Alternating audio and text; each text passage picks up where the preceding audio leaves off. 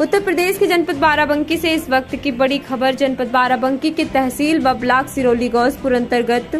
ग्राम पंचायत बिरौली सांसद आदर्श ग्राम चुना गया, जिसमें खंड विकास अधिकारी Jitendra Prasad, ADO panchayat Sanjay Singh cooperative Ashish Kumar को, आशीष कुमार सचिव सतीश कुमार व ग्राम प्रधान पिंकी वर्मा व प्रधान प्रतिनिधि अनिल वर्मा व महिला स्वयं सहायता समूह समूह केयर टेकर अनीता देवी आदि लोगों व ब्लॉक सिरोली गौसपुर से आए अधिकारी गणों ने लोगों को बताया कि आपके ग्राम बिरौली में अधिकारी से लेकर सांसद व लोकपाल व कई अधिकारी अब सांसद आदर्श ग्राम पंचायत बिरौली में आते ही रहेंगे।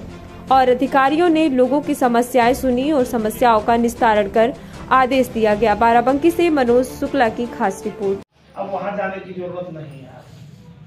अब यही अपना एप्लीकेशन दीजिए और वो एप्लीकेशन हमारे पास आएगा। हम संबंधित विभाग को कार्रवाई के लिए लिखेंगे। और एक सप्ताह